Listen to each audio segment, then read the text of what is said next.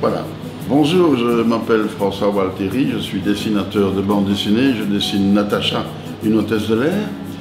Et alors je viens à Eupen le dimanche 29 septembre. Ça va?